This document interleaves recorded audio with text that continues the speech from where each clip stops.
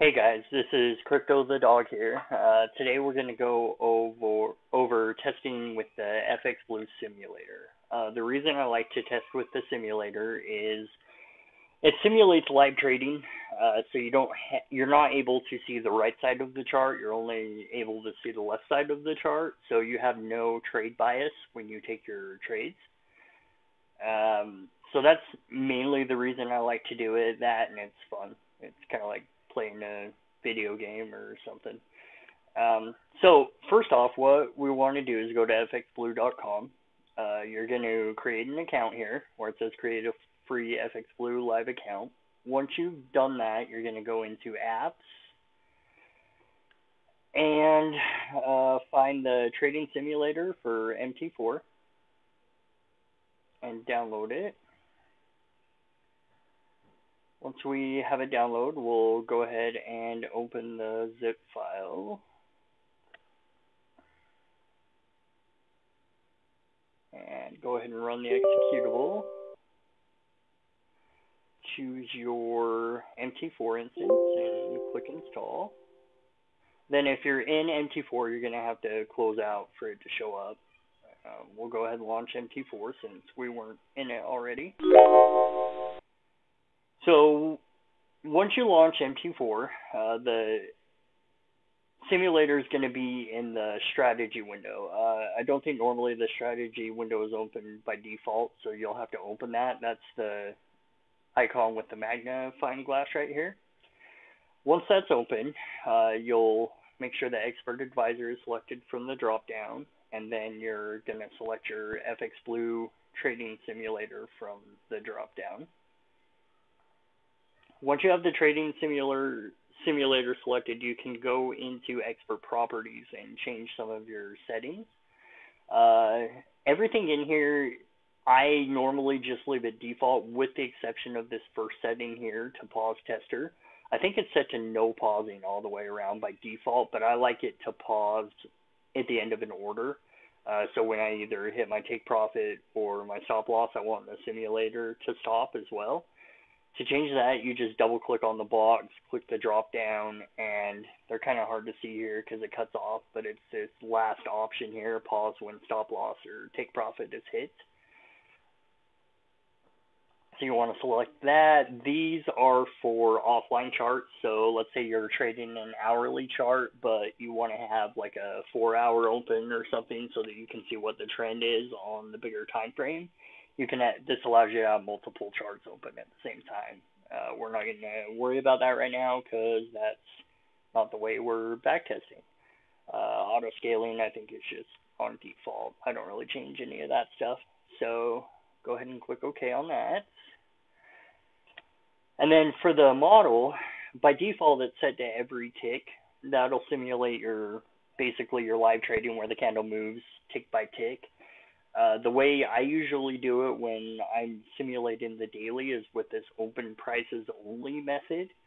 Uh, what that does is it only shows the candle at its open price and then it'll show the next candle at its open price, but it doesn't do the tick by tick. That basically speeds it up a lot and it's not as accurate as tick by tick technically, but you're supposed to be closing at the end of the candle anyway and opening at the beginning of the next candle. So I mean, yeah, it's not as accurate, but to see if an indicator works or doesn't work, it works fine. Right here, you select your date. So um, I'm going to go back to January of 2016. Uh, you want to do, you know, two years or more of back testing.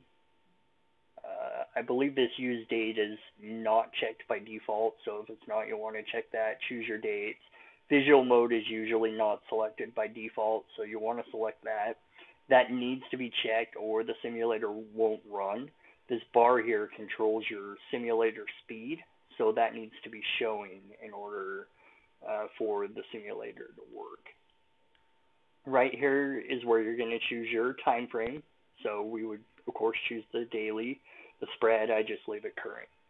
So what you need to do is choose a currency pair. Um, you can choose that from this list here. Before you choose the pair, though, you need to download the pair data. So in order to do that, you have to go into Tools and History Center. you'll choose your pair from over here on the left hand side and then choose whatever data you want to download. So we're going to download the daily. You just double click on it, click download, click OK, click yes, and OK again. That'll download all the data from your broker. Go ahead and click close.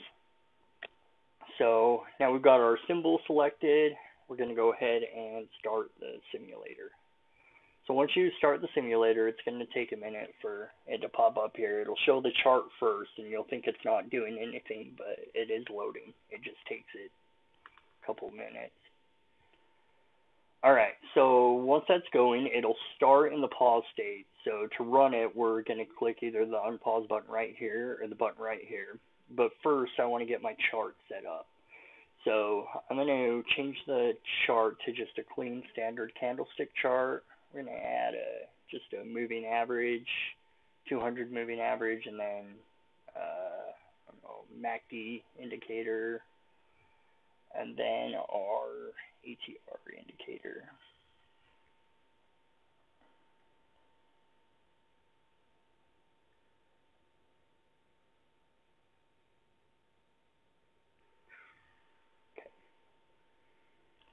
So I shrink that down because I just like to see the numbers there so I know what to set my take profit and stop loss for. So now we'll go ahead and start the simulator. I'll show you guys how to use it. Okay, I started on the slowest speed so that it's not going so I can kind of show you the settings. Uh, this drop down right here will allow you to choose your lots. You can either type it in or use the arrows. We're just going to do a micro lot right now. This one is for your trailing stop loss. If you want to set that, that's in pips. So uh, if you want a 20 pip trailing stop, you enter 20 there. We're not going to do that right now either.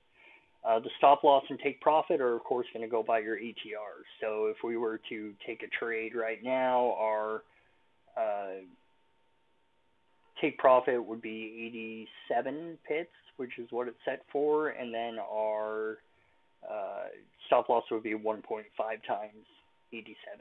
So to make a buy, all you have to do is go ahead and click buy right here. We're actually going to speed this up a little bit. It goes a little faster. Hit and hit play, and you didn't see that. It hit our take profit, I think, right away there. Um, so we'll go ahead and do another one. We're going to do a sell here. Let's see. It looks like our ATR though now is 99. So we're going to change that to 99. And then we'll find out what our stop loss is. That's going to be 99 times 1.5. 148.5. So we'll do 149 for our stop loss. Go ahead and take a sell and start the simulator. So looks like we might get stopped out. Yep, got stopped out right there. Excuse me. So go ahead now and just let it run for a bit, watch it, you know, wait for whatever rules you have set up for it to hit your rules. Um, if the chart doesn't advance, click on this arrow up here at the top, and that'll make the chart auto scroll. Um, so you say, okay, well, here we go. It hit my rule right here. So I'm going to go ahead and pause it so that I can enter my take profit stop loss. Uh, let's see. So right here, hit my rule. Take profit's going to be one times ATR, so that's going to be 106. And then our stop loss is going to be six times five, 159 for stop loss go ahead and buy, and then click start, and it'll open up our orders.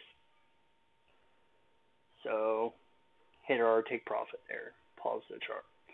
So that's really all there is to it. You just make your buy, sales, you know, your take profits, stop losses until your time runs out, uh, going by whatever rules you have set up on your indicators. So um, during the the webinar, I actually went like eight for eight on trades or something just by using the MACD. So that's all you need, guys, is MACD. Uh, but that's it's a lot easier in my opinion than manually looking at charts, drawing lines, trying to figure out whether it would have hit your take profit, stop loss, and then like I said, you get you kind of get the experience of live trading and you don't get that trade bias. Um, so once you're done with your simulator session, you'll go ahead and click stop and it'll show you your net profit. You can click this analyze button and it'll take you to the FX Blue website. Once you're here, it will show you what your current account balance is, as well as uh, you know some stats for your trading, whatever your peak drawdown was, your win percentage, things like that are going to be on this page. Uh, the page we care about for at least for testing, if you want to go into the private group, is the order section. You want to change this to closed orders. This will show all the orders you took along with your, you know, open date, close date, your take profit, stop loss, and whether it was a win or a loss. You can export these into Excel just by clicking the Excel button right here, and that will put them into a nice spreadsheet that you can send to us, and we can, you know, get you in the private group, or you can upload them to the public spreadsheet, whatever you want to do. Uh, there's a few other things you can look at here. The stats has some kind of cool things. Once you've got a ton of trades in there, it'll show you equity lines and just tons of stuff like that. So um, that's basically it, though, guys. If you have any questions, feel free to let me know. Hit me up on Discord. We'll see you guys later. Thanks.